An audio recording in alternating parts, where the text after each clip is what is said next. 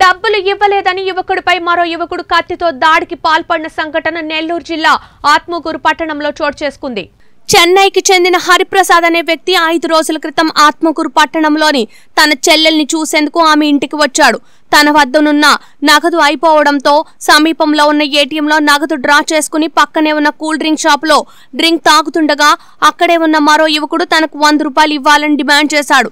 అందుకు చెన్నైకి చెందిన హరిప్రసాద్ నిరాకరించాడు. అది కాస్త వారిద్దరి మధ్య కొద్దిపాటి ఘర్షణకు దారితీసింది.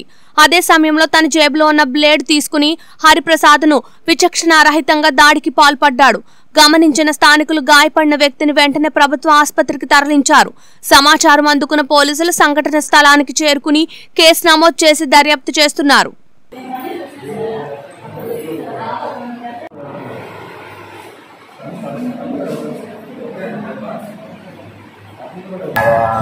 చెల్లెల్ని తీసేదానికి వచ్చిన ఆత్మహత్యకి వచ్చిన దగ్గరలో కూల్ డ్రింక్ షాప్ పోయాను సరే కూల్ డ్రింక్ తీసుకొచ్చాను పోయిన దగ్గర నన్ను ఇచ్చేసిలా తమ్ముడు ఎదురులో ఓడు నన్ను ఇది ఇలా చేసింది. నేను ఎందుకు నీకు డబ్బులు ఇవ్వాలంటే ఓడు ఉంటే ఆయన వ్యాన్ తెచ్చుకుని మళ్ళీ నేను నేను మాట్లాడాను వ్యాన్ రా చెప్పేది. ఓడి సొక్కాపడి నేను సొక్కాపడి ఇద్దరు కొట్టుకుని వచ్చారు అవతల కూడా ఏం చేసింది జేబులో అంటే బ్లేడ్ ఎత్తి సప్పు సప్పున కోసేసింది ఇంకా నేను ఏం చేసిన ఆ బ్లడ్ చెలపులో మైకి పడిపోయేసాను కారంలో వాళ్ళు చూసి నన్ను తీసుకొని వచ్చింది హాస్పిటల్